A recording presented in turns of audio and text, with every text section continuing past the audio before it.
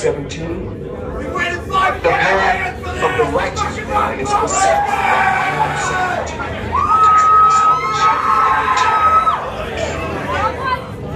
Blessed is he who in the name of charity and good shepherds the weak